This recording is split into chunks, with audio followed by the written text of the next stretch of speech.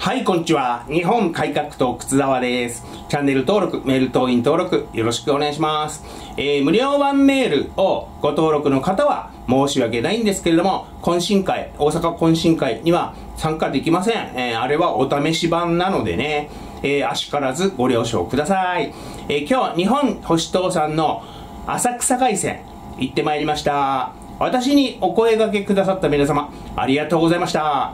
有本さんの再エネ利権の話とか LGBT 法に反対するゲイ男性候補富田至さんのアメリカ LGBT 事情の話など勉強になりました。ウグイス城のももちゃんともご挨拶できました、えー、来ててよかったで出番でよかったであります。ももちゃんね、えー、10月21日21時自民党本部に石破ガース森山小泉が集結メディアの自公過半数割れ報道に対して次の議題が話し合われたそうであります、え過半数割れした時の国会の総理指名では国民民主党に協力を依頼する、えつまり自公国連立ってなんのかな、えー、その代わりあの大臣ポストをくれてやったり。まあ連立になるでしょうね。自公過半数割れで国民民主と連立と。現職大臣で数人が落選するので情けねえな、えー、差し替えの人選を進める、えー、連立与党での公明党の発言力が増えることへの対策高市が応援している候補の多くが落選するので今後高市の影響力は落ちるから安心とか、保在さんみたい。えー、それよかですね、自公過半数割れ後のことを話し合ってんですよね。お前らしがみつく気なのか。自公過半数割れで、石破まだ総理でいる気なのか。森山は幹事長でいる気なの。小泉は選対本部長とどまる気なのか。だってそうですよね。自公過半数割れした時のことを話し合ってたからさ。あとなんか選挙よりも高市さんの勢力をそぐことの方優先しててちょっと気に食わないですけどね。世論です。過半数割れしても粛清の方が大事か。党員票1位だった高市さんをここまで邪険に扱っていいのか。応援演説した候補の落選率で言ったら岸田石破河野辺りがトップじゃないの。通は総理の責任問題で辞めているのでは？全くだよ。なんで自分たちは安泰だと思えるのか？高橋さんを応援する議員が減っても影響力落ちないと思うよ。石破が辞めないで参院選どうすんの？候補者たちは衆院選で高市さんの人気が分かって石破に投票したことを後悔したと思う、えー、なんか自公過半数あれのこと話し合ってますけど、えー、その時あの執行部じゃねえんだからお前らやめてんだからさ、えー、関係ないんじゃないの？話しても無駄じゃねえの、えー、自公過半数割れでもしがみつく気？石破、えー、まさかね。えー、それだと来年の参院選もボロ負けだけど、それでもいいの、えー、自民過半数割れでも痛いのに、247人から50人落選、2割減。でも責任取らない気、なんだろうかね。えー、これ見ものですけどね。衆院選の結果によっては、石破じゃ参院選無理って考える議員が多発すると思われるんですけれども、それでも居座る気なのか。えー、いや、恥知らずって 無敵ですね。恐ろしいですね恥知らずって 失礼しましたえー、期日前投票が前回衆院選よりですね17.5%少ないそうであります。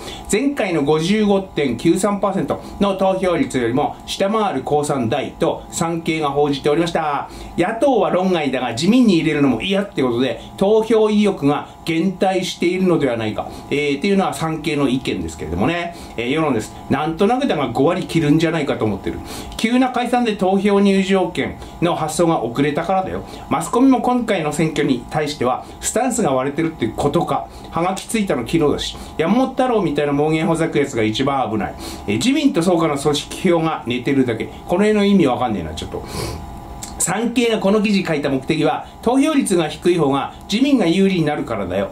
投票率が低いところで勝っても低支持率だから、怖くて不正ができなくなるぞ。えー、自民は赤点すれすれだが、立憲は0点。しかも0点の後も勉強してない。令和は自分の名前を書けるかどうかもやしな。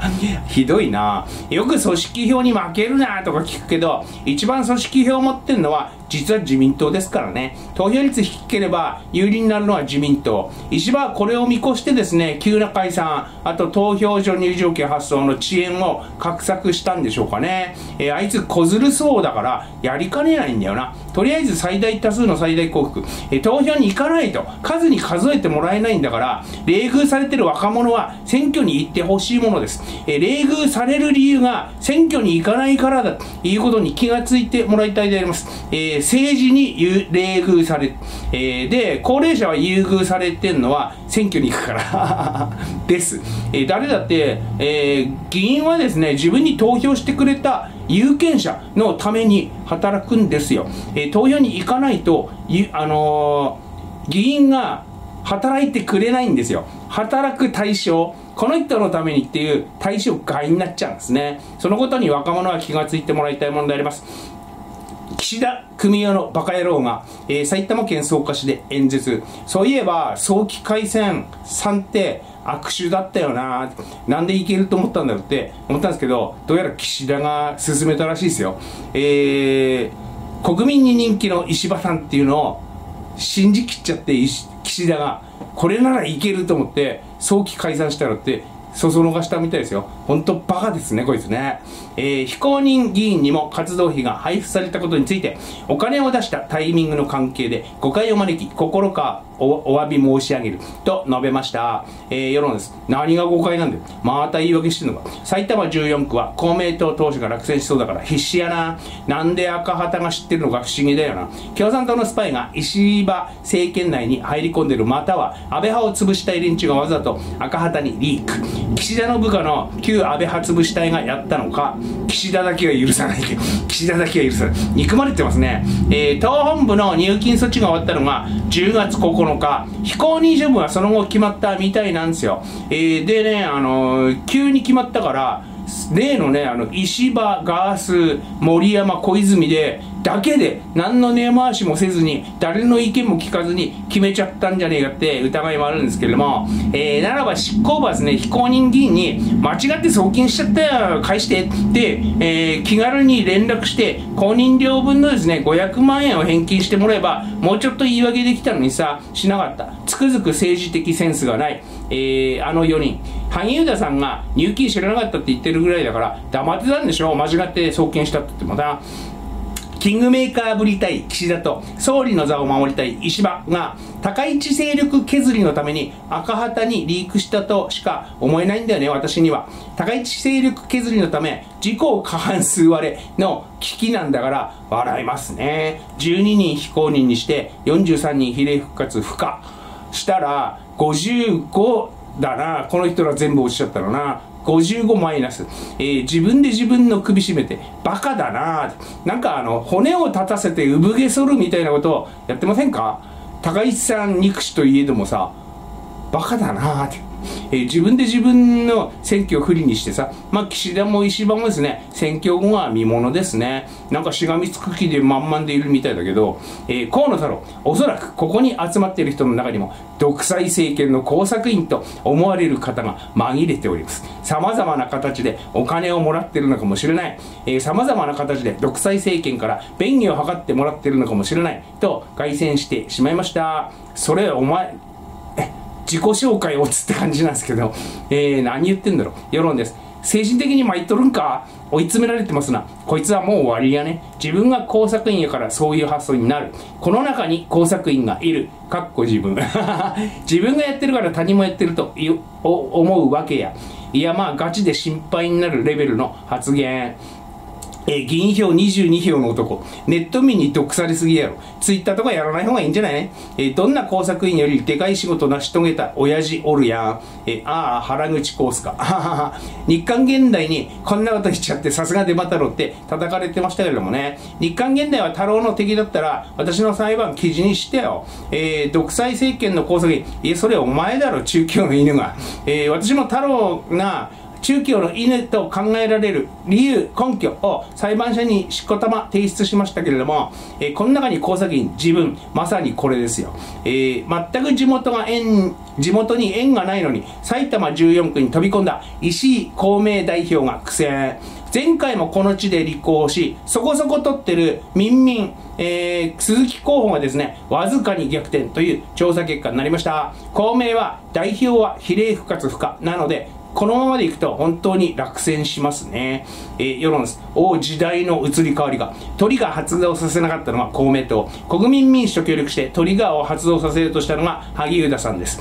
ここは公明が負けてほしい。有権者なんて比例返上した石井にはぜひ痛い目にあってほしい。共産シート公明石井が負ける姿をぜひ見たい。埼玉14区の皆さん、公明党を倒してください。奴らは日本のガンです。えー、公明党選挙にめちゃくちゃエネルギー注いでるんで、やっぱりというか強いんですけれども、公明と民民候補、どっちが当選してほしいかっていうと、まあ民民でしょうね。公明と違って中国に忖度忖度しないしね、えー、公明なんかあの中国のケツ舐める勢いでこびてるし、最近では玉木代表がですね、外国人参政権に反対って表明したしね。